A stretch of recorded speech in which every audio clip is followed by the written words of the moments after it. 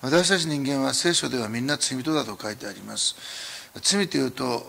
法律的な罪を犯すことを考えやすいですけれども聖書では罪というのは、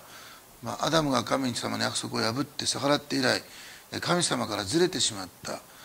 その罪っていうのは言語でハマルチアって言いますけれどもギリシャ語ですけれども的外れっていうことを意味します。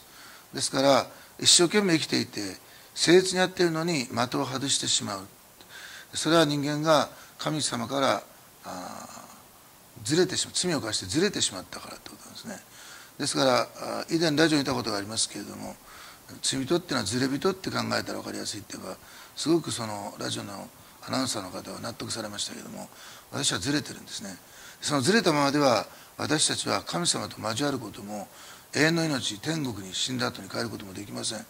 そのずれを神様に戻すために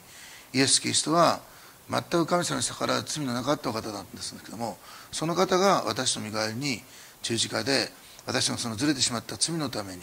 身代わりとなって全ての罰と呪いを受けて死んでくださって血を流されました。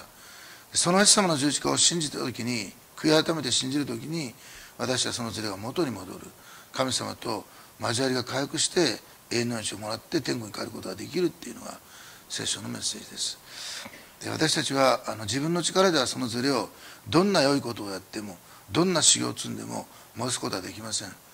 でもキリストが十字架で成し遂げてくださった技を信じる時悔い改めて信じる時そのずれを元に戻すことができます。